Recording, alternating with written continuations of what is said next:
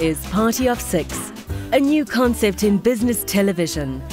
We have a group of four business leaders from similar industries getting together for a business lunch, along with two CNBC Africa journalists. And we let the cameras roll. There'll be revelations. It is such a changing environment. It's a major threat affecting retailing worldwide. Retail is a little bit about reinventing yourself, but it's also about waves. You've got to figure out what to do when the wave's behind you. Can you stand on the surfboard and surf it in and reap the reward? But then you also got to pedal back out again to catch the next wave. There'll be opinions. What we're trying to do now is to doggy paddle with the tide against you. For me, there is a definite flair and success rate where somebody is passionate about what they do. There'll be controversies.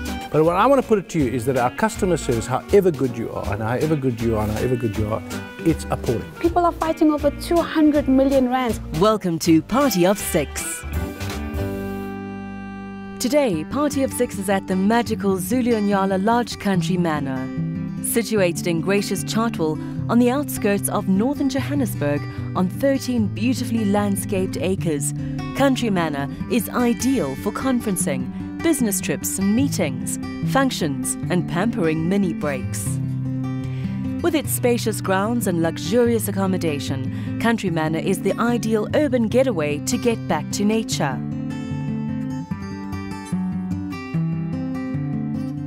This week, your hosts David Williams and Nozipho Mbanjwa will be chatting to retailers Bruce Rubenstein, CEO of Vestacor, Jackie McGeehan, General Manager of Hyde Park Corner Shopping Centre, Syd Vianello, Retail Analyst, and Greg Solomon, Managing Director of McDonald's South Africa.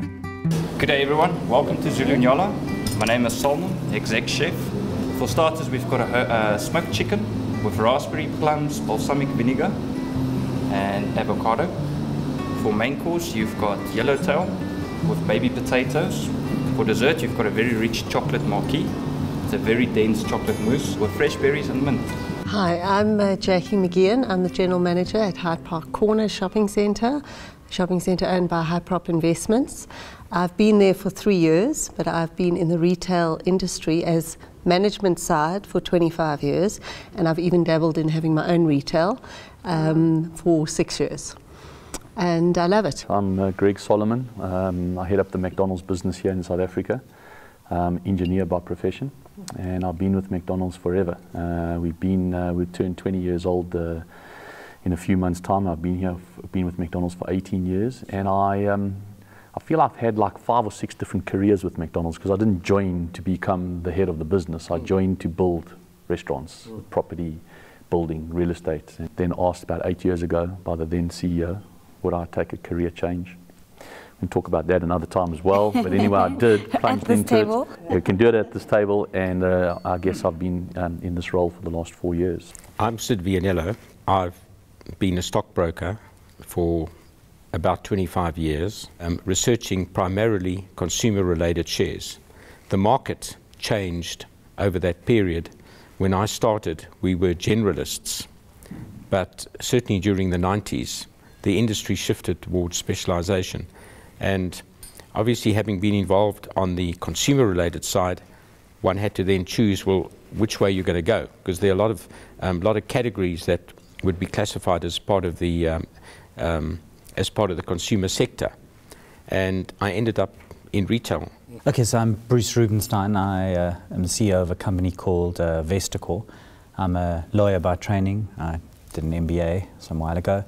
And at that same time, after practicing for about 15 years as a lawyer, I decided to career change and started uh, sort of essentially a family business in the retail environment. Also, quite why retail and not mining, I guess, because it's probably one of the most complex and one of the simplest things to anticipate. It happens sort of formally and informally. What we're trying to do now is to doggy paddle with the tide against you. You've got in South Africa, I think it must be one of the best, what it, whether you call it casual dining, takeaway sectors. I mean, the quality and the competition in South Africa seems to me there can't be many countries where the quality and the range of food available is, is like it is here. There's no doubt that it's a hell of a competitive environment. Um, and I, uh, say this often to my team right now. This is about stealing market share now. This is not necessarily about the here comes this massive flame of market share. Everybody's competing for the same customer. Mm. Uh, you've got to be cleverer, you've got to be wiser, and you've got to look further. In this particular space, especially around this uh, fast food space where we're seeing competition uh, tightening the market, surely uh, to be innovative and to break away and to steal that market share, you've got to be on to the next. What do you think we should be expecting as South Africans? Maybe something that makes life even easier for the consumer. A home delivery type service involving fast foods. Syd and I have never met, uh, but last week McDonald's Woodmead launched its own delivery. And um, you know, it's it's it's unique that he said. But let's they move. fast these guys. Yeah, let's let's they move. Are, absolutely. Yeah, I, tell, I, told you. you he said it, and you've already launched it. There we done it. but I, I, think beyond delivery, I think it is about innovation. And sometimes I always say to the guys, sometimes innovation is doing new things. Mm. But sometimes innovation is doing the same thing differently. Mm. Right. Yeah. Sometimes when the music stops, as, you know, you stop dancing. Otherwise, you, you look stupid, and, and in the format of, say, retail, you, you can be in trouble. Mm. You know, if you continue hell for leather to grow, you know, I mean, some of there are realities on the ground. There are a limited number of people who have disposable income, all that stuff sort of trite, and mm. everybody knows about it. So, you know, you start to work out and do some very sort of anecdotal thinking, and you say, hang on, we're growing space rapidly. We're putting the same things in the same places all the time. What's differentiating? You know, what, and do we, where do we think this growth is coming from? You just keep cannibalizing. I think that it's probably that that drives the so-called international thinking about Africa. They don't live here. They don't really see what's happening here. The consumer is king, and they, they will determine the trend. But if you ask them, they won't necessarily know. Um, so, I mean, Henry Ford said, um, if I asked them, if I did market, they asked Henry Ford about market research, and he said, if I asked them what they wanted, they'd say a faster horse. One of the challenges our retailers have, especially when they bring international European brands into the country, mm. is the European expectation of growth. Mm. It's unrealistic to the South African market. And a lot, a lot of times they have huge challenges because they internationally they want them to roll out a lot more stores and locally the businessmen who know the market say there just isn't the demand to have so many stores mm. and we cannot have as many as you've got in Europe where in Italy on every corner um, and in Hong Kong, you've got the same store all over the place. The volume of people are just not here. But what about this big hype about the Africa story and retail and the demographic dividend and ne Africa being ne the next? Never mind that. There is a retailer in Sandton City, I better not say who it is. I asked one of the lady, sales ladies, um, where do your customers come from? Her answer is, Bruce, I don't know if it applies to Stuttafords, 90% of the sales in that store in Sandton City are to African customers, not South Africans, period. 90%. I, I was astonished. Let's talk about thinking of Africa and South Africa, and we've got empowerment is an uh, imperative for all companies. The black retailers, I mean, think, are, are there legendary, I think there are a couple of legendary black retail figures. One thinks of Herman Mashaba from Black Like Me, Tommy Mercato from BB Cash and Carry. These are genuine entrepreneurs who made their businesses when they were at a severe disadvantage with the apartheid. They couldn't get licenses. They weren't allowed to trade in particular areas. And they overcame all those disadvantages. There's very little empowerment in retail.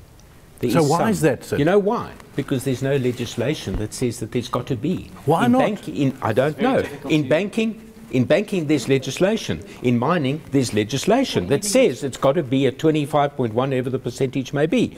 In retail, there's nothing. One of the reasons given is that, well, government doesn't really buy much from retail shops. But I think it's much broader. I think it's, it's very simply a question of regulatory environment. Mm. What you've just mentioned, mining, banking, you know, medicines, hospitals, all of those are regulated, highly regulated environment. In other words, government has a lever that mm. can force you know, uh, uh, that kind of structure into, in, into being. In, in the ordinary retail, it's very difficult to force a customer into a store. Mm. Your empowerment in retail would come through entrepreneurs because they would need to build a big business which would and empower them. And that's why franchising, am I right, Greg? Mm. That's why franchising is a phenomenal, it's a massive opportunity mm. to to create empowerment of a different kind, Yeah. Mm. but 100%. very, very successful for very large numbers of people who prepare to work hard. I, I don't know the answer, but I was going to ask the table. So, what percentage would we guess of retail is entrepreneurs? I think every business morphs into into a big corporate. McDonald's mm-hmm. started with Ray Kroc as an entrepreneur. So, Well, take, take the Wiese Empire, the biggest retail operation in Africa. Yeah. You know, we're taking ShopRite and Pepkor and all that.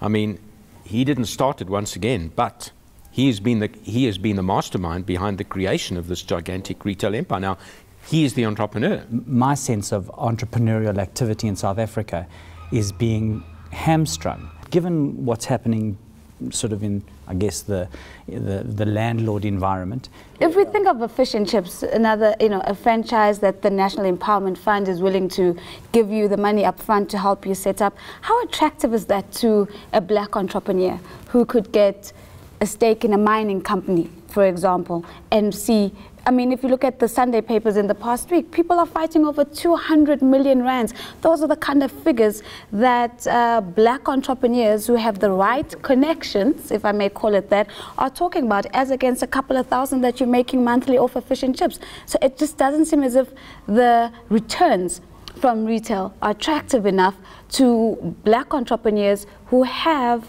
the connections to get bigger returns. But you see, I think that's where possibly the error in the conversation goes when our entrepreneurs want to be gazillionaires. You But that's the culture that's in the mindset. Of, where, where I'm so proud of most of my franchisees are financially wealthy, even more superior than I am. And so they so deserve it.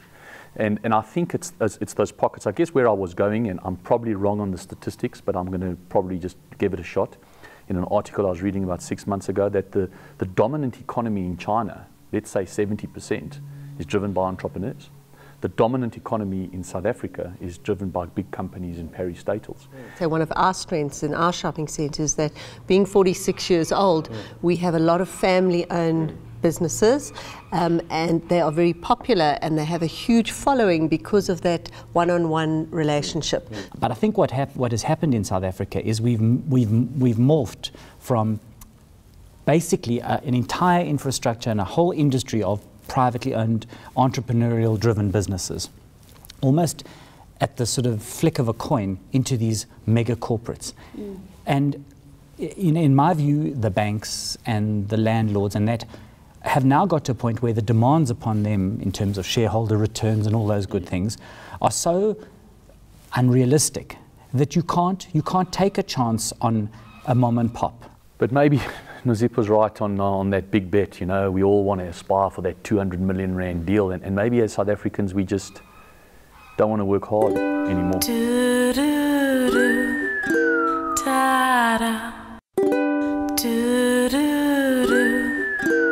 Now, both Herman Mashaba and Tommy Makato are so, oh, maybe you, this is to be expected, they are so against empowerment legislation. They say it's in the way. because they did it themselves. Yeah, so it's natural that they would do that. There's a paradox going on, and that is that the bright young entrepreneurial minds are snapped up by the corporates. Why take the risk with a franchise if you can, if No, you I disagree. I, I totally disagree. My, uh, you can never earn as much money in, in corporate and what a good entrepreneur. no, but their perception, their perception is that, that it's secure Their and it's good. perception may be erred, but the money is in entrepreneurs, and it's not about the big, big corporations. A guy that's got a couple of fish and chips, three or four McDonald's, that guy or that lady is earning money. Yeah, but David, it's, all- it's all about risk. Yeah. That's why you get the Yeah, return. yeah. Because you take the risk. There's that graph, risk and My, reward. my friend Justa once said to me, if you don't want to take risk, gaan sit jou geld in die poskantoor. You know what I think we should do? I think we each one need to tell an entrepreneurial story. I suppose it's not really, I mean, it goes back a long way because one of the other businesses I have, which is pro- sadly a, a dying business, is in the music industry. And uh, I met, um, well, I mean, I met a guy. Musica? Uh, no, it's uh, Look and Listen. I mean, I was on the aeroplane and we, I sat next to a guy who told me he was a civil engineer, which is, of course, highly boring. Sorry, no disrespect to engineers. It's a bit Hey, but he's in McDonald's now. eh? Yeah, he's, he's burgers. better now. engineer that saw the And. I am a civil engineer, so that's worse. The only Anyway, two- well, I'll tell you why I thought it was boring, and that's exactly what I thought. I thought, well, okay, we, we talk about engineering. Our lawyers equally boring or whatever. We're going to uh, to Canada to to actually to one of the record labels. And he said, oh, that's kind of a coincidence. I am too. Okay. And it turned out there, were, there was a, uh, there's a group of civil engineers who, in their part time, uh, created a band called the Barenaked Ladies. Okay. And that was his group. And he, he then was a shareholder in this. And from engineering, had taken control of his own label and the distribution. And it was kind of like one of those perfect stories where he starts as a civil engineer with, you know, whatever. And we, go, we get to his recording studio, and because he takes us there, and we eventually get to go to a show on, on Lake Ontario with like you know the waves lapping and your yacht over there, and you know it was just it was kind of like, and, and I said, to him, but this must have taken ages. Yeah, it did about five six years. Mm. wow, it was just you know from zero to hero. You mentioned before we get on to the next story, uh, look and listen. And my impression is of the music world is that the, they can't control uh, what do you call piracy. People who, getting music and they don't have to pay for it. There are all wa- sorts You of can't ways of doing compete it. with free. This must be one of the things that are eroding the look and listen model. It's completely eroded. I don't think it exists, In- and it doesn't exist. The model doesn't exist. So what are you going to do with the business? No, well, I don't think there's a hell. I mean, you know, there, there is there is a sense of again when the music stops, to coin a phrase, mm. yeah, and, and it's not without thought that the likes of HMV and I don't know what all the Tower Records and all the American brands have gone out of business, quite simply, mm. and and the replacement is, I don't know. There was a, a young lady who phoned me up. Her name is not Tandi, but I know she, she's very sensitive about it, but it's similar, and I'll call her that. She phoned me up and she said to me, Greg, you're one of the biggest, if not the biggest franchisor of the world. I own a coffee shop. I'd like to franchise my business. So I said, well, come and see me. And this was about two years ago. And she came to see me. She, no, actually, she said, come and you come see me. And it became, when I'm in the West Rand, it became one of my favorite coffee shops. But she'd always be there making it. And cut a long story short, uh, over 18 months, I tried to franchise her business with her. I tried to mentor her to be able to get that going. She opened two more shops, and um, cut a long story short, she closed them down. And I, I think she's inspirational for me because she knew as an entrepreneur where her skills and levels of expertise were. She's still a very, very successful businesswoman owning, I think, a very good coffee shop, but it's just one. And sometimes knowing yourself as entrepreneurs and knowing who you are as entrepreneurs, knowing what is the definition of success, I would like to just mention two previously disadvantaged uh, initiatives that have actually developed and come into their own in terms of being very successful business operations. One of there is the Ardmore collection, which is hand painted pottery, which is done in the Eastern Cape. And again, it was just done by artists and a woman, and I'm sorry, I don't know all the names and that because obviously I'm at the very end where they're actually retailing. Um, Charles Gregg in our centre represents them and is now looking at opening a standalone store. But that is a success story where they're actually now exporting this fantastic quality of completely hand painted, handcrafted. Uh, they do beautiful crocodiles, but it's, it's South African um, animals, but with a very international uh, painted artistic flair. Ivan Saltzman. I mean, Ivan and his partners had one pharmacy in the deep south of Johannesburg. And um, I, only, I only tell you the story because I took a hedge fund manager to visit him one day. And we were sitting in his old offices, um, and he was telling us the story. He said, Well, so we decided to open a second store. It was a huge risk. We didn't know what we were in for. You know, we were used to running one single store for 20 years, him and his wife. His wife's also a pharmacist, and they met at pharmacy school. Mom and pop. Mom and pop. We then opened the second store. And we managed to overcome all the difficulties, and we suddenly had two stores. So then we opened a third store. And suddenly it became easier from three to nearly 80 stores Sure. in uh, what, about 15 odd years. That's how long it's taken to get there. But the best story of the lot is I'm sitting with my hedge fund friend, and she says to him, Ivan, what strategy did you have with regard to product mix, for instance? He said, Well, we didn't. We just kind of took every day as it came. I, I went and bought some product, put it on the shelf. If it So if worked, it sold. if it worked, fantastic. We, we bought more. If it didn't work, I discounted the hell out of the thing, got rid of it, and decided we are going to try something else. But what I want to put it to you is that our customer service, however good you are, and however good you are, and however good you are, it's appalling. I think it's attitude. I think it's uh, entitlement. I think it's accountability. And I, I think, you know, we're in the service industry, we need to serve. That's our business. If we didn't want to do that, let's get out and do something else. We talked about innovation. I made a funny statement that it doesn't have to be new, it just needs to be different. Yeah. This is the competitive advantage. and It just sits here in front of you. Uh, and then it's about consistency. I'll say about the luxury stores and the luxury offering, their service is exceptional. Look, they are selling a premier brand Yeah. and they are dealing with very, very discerning and demanding clients. But their training that they put in, whether it's sending them over internationally to get trained, etc., it's a completely different experience, completely.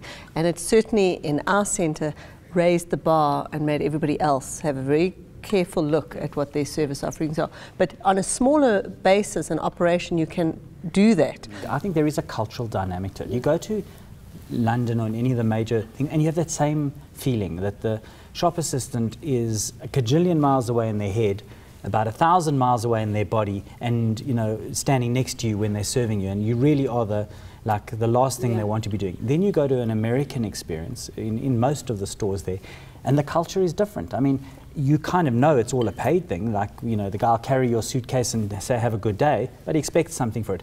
But you kind of think, that's okay. Mm. I, I- you know, if he does he's carry my- helping you. Yeah, I- he is helping me, and, and the service is good, and I do get to get what I wanted to get. Mm. We haven't kind of, I think we still have a, I don't dare I say, a sort of Anglo-Saxon kind of retail philosophy. We are quite similar to the English. I've had terribly bad service, but I've also had very good service. I was going to say that for It's me, right the biggest factor is inconsistency. Mm. Total You never know what you're going to get. A young person coming into the business, what's the advice you give them as to how to contribute to the business? And I mean, I suppose it's about customer service because it's retail. What do you say to them? What, what is that sentence that you say? I would, um, in the retail business, I would say this is a university of life. I think every single transaction that you do with a customer, you learn and you upskill yourself. You know, every single customer is different. This is not something you can go and study and then practice. And uh, I always say, you know, leaders um, have followers, but leaders have previously followed. And the best retailers um, that I see have grown through the ranks. No matter how qualified you are, be it an engineer or be a lawyer, we've done our work. We've swept the floor. We've worked a restaurant. We've dealt with hundreds and hundreds and thousands of customers ourselves. And so, therefore, that gives us the trust and respect. But I, I think really it's um, to become a great retailer is not overnight. For me, there is a definite flair and success rate where somebody is passionate about what they do. They're passionate about their brand, number one, because we are very brand conscious. Um, but they're also passionate about their environment, their business, and their people. And I know it sounds a bit cliche, but you have to enjoy what you're doing. There are two things that retailers do. They do different tomorrow to what they did the day before, always, and they don't look at their toes. What does that mean? they Don't look, at their forward. They constantly, they, they never take the lost sale as the end of the discussion. Tomorrow is another sale, tomorrow is another day. That sounded like an African proverb of sorts. Don't look at your toes, look forward. Like something you'd, you'd hear, hear Chinua Achebe say or something. But ultimately, you are only as good as your last e- retail experience. The customer's vision will be based on his last retail experience. Retail is a little bit about um, reinventing yourself, but it's also about waves. And at this point in time, we're in a trying economy. You've got to figure out uh, what to do when the wave's behind you. Can you stand on the surfboard and surf it in and reap the reward? But then you also got to pedal back out again to catch the next wave. And a business that doesn't have the flexibility, the arrogance, the smarts to be able to do both um, will have a short span. I think that, retail actually is, is summarized simply by the partnership that exists between the consumer and the retailer. And until you worked out exactly what that partnership is, it's very hard to succeed. It is such a changing environment. I mean, I mean, you were talking about the economy. One of the biggest single threats, and it's no doubt going to hit some of you, your Stuttafords operation in time to come, is the um, is the online retailing. It's a major threat affecting retailing worldwide. But to a large And you- extent, and you gotta start retailers closing must stores. embrace it and take advantage No, of it. you have they to. mustn't ignore it and think it's going to go away. And it's still quite, I believe, quite a long way for South Africans to fully embrace it. We very much hand, touch, feel, smell, try on at this stage. And they need to build that as part of their sales model. And certain categories of retailing um, will react differently. In the furniture business, for instance, that, that feel and look and what have you is, is far more, let's say, relevant than, let's say, buying, buying apparel or buying a book. Thanks to all of you for being here today. Different things. Running a centre full of retailers, a company which has several retailers, and you've got a single minded, you've got one business, which is a big business. And Syd, who's a veteran at analysing all these businesses, I think it's been fantastic. So thank you very much.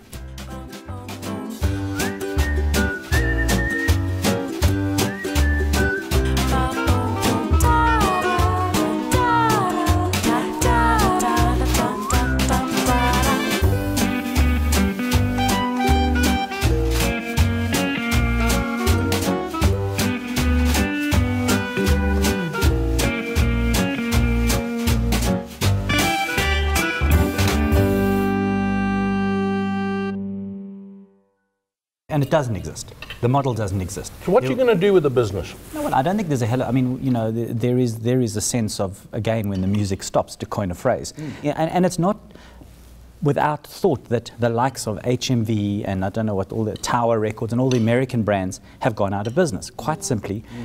and and the replacement is, I don't know. There was a, a young lady who phoned me up. Her name is not Tandi, but I know she, she's very sensitive about it, but it's similar, and I'll call her that. She phoned me up and she said to me, Greg, you're one of the biggest, if not the biggest franchisor of the world. I own a coffee shop. I'd like to franchise my business. So I said, well, come and see me. And this was about two years ago. And she came to see me. She, no, actually, she said, come here, you come see me. And it became, when I'm in the West Rand, it became one of my favorite coffee shops. But she'd always be there making it. And cut a long story short, uh, over 18 months, I tried to franchise her business with her. I tried to mentor her to be able to get that going. She opened two more shops, and um, cut long story short, she closed them down. And I, I think she's inspirational for me because she knew as an entrepreneur where her skills and levels of expertise were. She's still a very, very successful businesswoman owning, I think, a very good coffee shop, but it's just one. And sometimes knowing yourself as entrepreneurs and knowing who you are as entrepreneurs, knowing what is the definition of success, I would like to just mention two previously disadvantaged uh, initiatives that have actually developed and come into their own in terms of being very successful business operations. One of there is the Ardmore collection, which is hand painted pottery, which is done in the Eastern Cape. And again, it was just done by artists and a woman, and I'm sorry, I don't know all the names and that because obviously I'm at the very end where they're actually retailing. Um, Charles Gregg in our centre represents them and is now looking at opening a standalone store. But that is a success story where they're actually now exporting this fantastic quality of completely hand painted, handcrafted. Uh, they do beautiful crocodiles, but it's, it's South African um, animals, but with a very international uh, painted artistic flair. Ivan Saltzman. I mean, Ivan and his partners had one pharmacy in the deep south of Johannesburg. And um, I, only, I only tell you the story because I took a hedge fund manager to visit him one day. And we were sitting in his old offices, um, and he was telling us the story. He said, Well, so we decided to open the second store. It was a huge risk. We didn't know what we were in for. You know, we were used to running one single store for 20 years, him and his wife. His wife's also a pharmacist, and they met at pharmacy school. Mom and pop. Mom and pop. We then opened the second store. And we managed to overcome all the difficulties, and we suddenly had two stores. So then we opened a third store. And suddenly it became easier. Week, McDonald's Woodmead launched its own delivery. And, um, you know, it's, it's, it's unique that he said, but let's they move- fast, these guys, Yeah, let's, let's They are, move. Yeah, we are. I, absolutely. tell, I told you. you He said it and you've already launched Ah, it. There we done it. But I, I think beyond delivery, I think it is about innovation. And sometimes I always say to the guys, sometimes innovation is doing new things, but sometimes innovation is doing the same thing differently. Sometimes when the music stops, as, you know, you stop dancing. Otherwise, you, you look stupid, and, and in the format of, say, retail, you, you can be in trouble. You know, if you continue hell for leather to grow, You know, I mean, some of there are realities on the ground. There are a limited number of people who have disposable income, all that stuff sort of trite, and mm. everybody knows about it. So, you know, you start to work out and do some very sort of anecdotal thinking, and you say, hang on, we're growing space rapidly. We're putting the same things in the same places all the time. What's differentiating? You know, what, and do we, where do we think this growth is coming from? You just keep cannibalizing. I think that it's probably that that drives the so-called international thinking about Africa. They don't live here. They don't really see what's happening here. And the consumer is king, and they, they will determine the trend. But if you ask them, they won't necessarily know. Um, so, I mean, Henry Ford said, um, if I asked them, if I did market, they asked Henry Ford about market research, and he said, if I asked them what they wanted, they'd say a faster horse. One of the challenges our retailers have, especially when they bring international European brands into the country, mm. is the European expectation of growth. Mm. It's unrealistic to the South African market. And a lot, a lot of times they have huge challenges because they internationally they want them to roll out a lot more stores and locally the businessmen who know the market say there just isn't the demand to have so many stores mm. and we cannot have as many as you've got in Europe where in Italy on every corner um, and in Hong Kong, you've got the same store all over the place. The volume of people are just not here. But what about this big hype about the Africa story and retail and the demographic dividend and ne Africa being ne the next? Never mind that. There is a retailer in Sandton City, I better not say who it is. I asked one of the lady, sales ladies, um, where do your customers come from? Her answer is, Bruce, I don't know if it applies to Stuttafords, 90% of the sales in that store in Sandton City are to African customers, not South Africans, period. 90%. I, I was astonished. Let's talk about thinking of Africa and South Africa, and we've got empowerment is an imperative for all companies. The black retailers, I mean, think, are, are there legendary, I think there are a couple of legendary black retail figures. One thinks of Herman Mashaba from Black Like Me, Tommy Mercato from BB Cash and Carry. These are genuine entrepreneurs who made their businesses when they were at a severe disadvantage. Home delivery type service involving fast foods. Syd and I have never met, uh, but last week McDonald's Woodmead launched its own delivery. And um, you know, it's it's it's unique that he said. But let's they move. fast these guys. Yeah, let's let's they move. Are, yeah, we are. I, tell, I told you. you he said it, and you've already launched it. There we done it. but I, I, think beyond delivery, I think it is about innovation. And sometimes I always say to the guys, sometimes innovation is doing new things. Mm. But sometimes innovation is doing the same thing differently. Mm. Right. Yeah. Sometimes when the music stops, as, you know, you stop dancing. Otherwise, you, you look stupid, and, and in the format of, say, retail, you, you can be in trouble. Mm. You know, if you continue hell for leather to grow, you know, I mean, some of there are realities on the ground. There are a limited number of people who have disposable income, all that stuff sort of trite, and mm. everybody knows about it. So, you know, you start to work out and do some very sort of anecdotal thinking, and you say, hang on, we're growing space rapidly. We're putting the same things in the same places all the time. What's differentiating? You know, what's, and do we, where do we think this growth is coming from? You just keep cannibalizing. I think that it's probably that that drives the so-called international thinking about Africa. They don't live here. They don't really see what's happening here. And the consumer is king, and they, they will determine the trend. But if you ask them, they won't necessarily know. Um, so, I mean, Henry Ford said, um, if I asked them, if I did market, they asked Henry Ford about market research, and he said, if I asked them what they wanted, they'd say a faster horse. One of the challenges our retailers have, especially when they bring international European brands into the country, mm. is the European expectation of growth. Mm. It's unrealistic to the South African market. And a lot, a lot of times they have huge challenges because they internationally they want them to roll out a lot more stores and locally the businessmen who know the market say there just isn't the demand to have so many stores mm. and we cannot have as many as you've got in Europe where in Italy on every corner um, and in Hong Kong, you've got the same store all over the place. Mm. The volume of people are just not here. But what about this big hype about the Africa story and retail and the demographic dividend and, and Africa being ne the next? Never mind that. There is a retailer in Sandton City, I better not say who it is. I asked one of the lady, sales ladies, um, where do your customers come from? Her answer is, Bruce, I don't know if it applies to Stuttafords, 90% of the sales in that store in Sandton City are to African customers, not South Africans, period.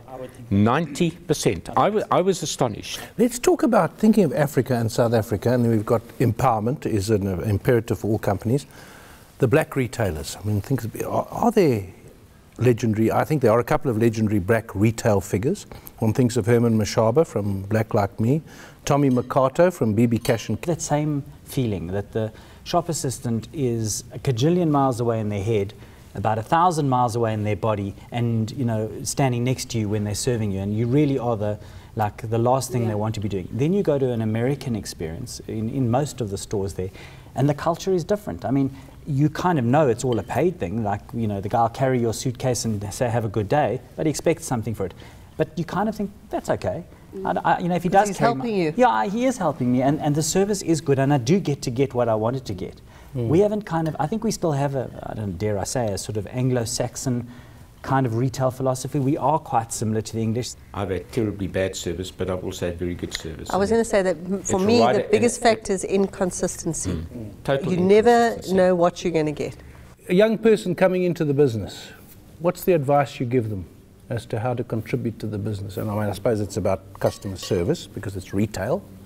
What do you say to them? What, what is that sentence that you say? I would, um, in the retail business, I would say this is a university of life. I think every single transaction that you do with a customer, you learn and you upskill yourself. You know, every single customer is different. This is not something you can go and study and then practice. And uh, I always say, you know, leaders um, have followers, but leaders have previously followed. And the best retailers um, that I see have grown through the ranks.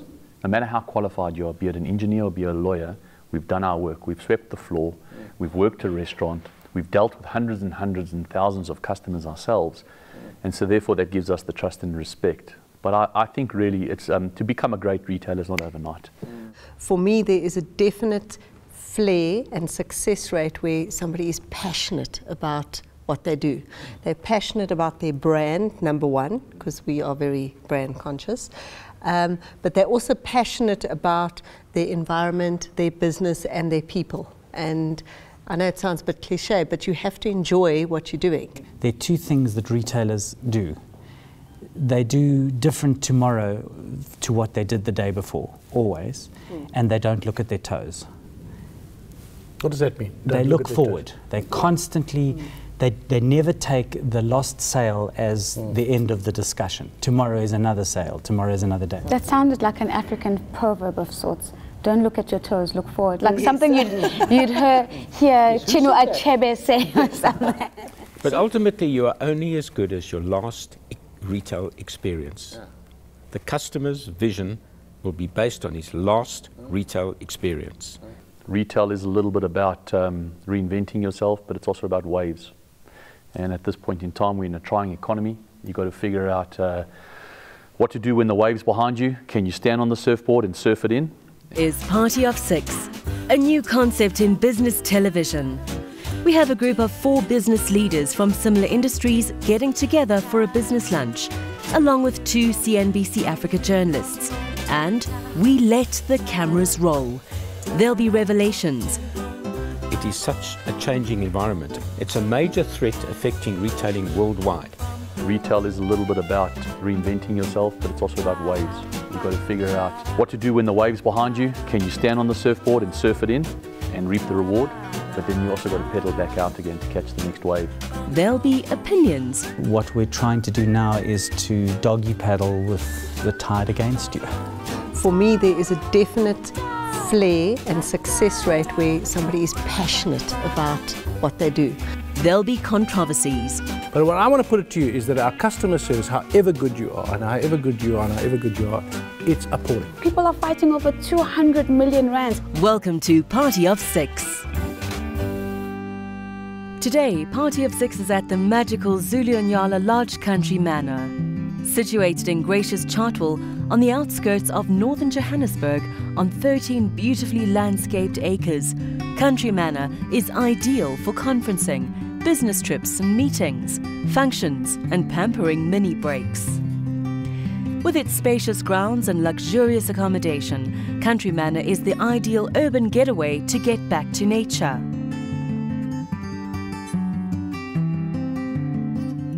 This week, your hosts David Williams and Nozipho Mbanjwa will be chatting to retailers Bruce Rubenstein, CEO of Vestacor, Jackie McGeehan, General Manager of Hyde Park Corner Shopping Centre, Syd Vianello, Retail Analyst, and Greg Solomon, Managing Director of McDonald's South Africa.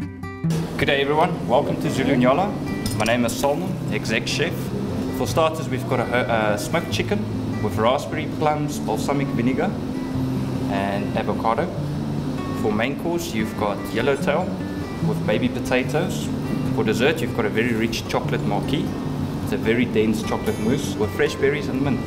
Hi, I'm uh, Jackie McGeehan. I'm the General Manager at Hyde Park Corner Shopping Centre, shopping centre owned by Hyprop Investments.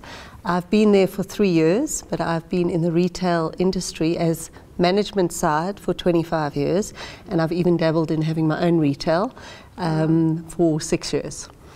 And I love it. I'm uh, Greg Solomon. Um, I head up the McDonald's business here in South Africa.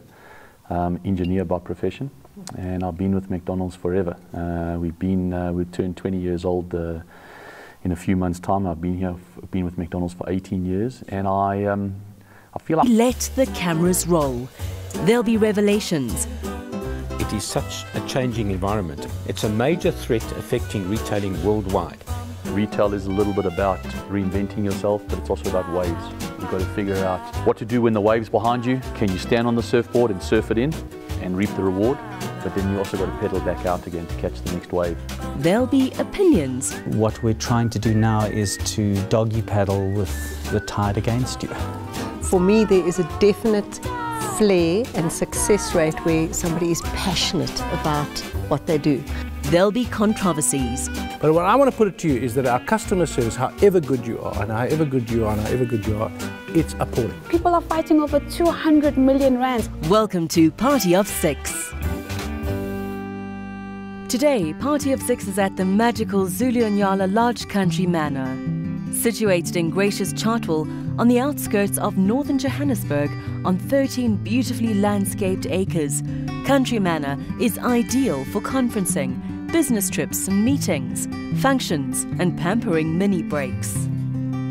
With its spacious grounds and luxurious accommodation, Country Manor is the ideal urban getaway to get back to nature.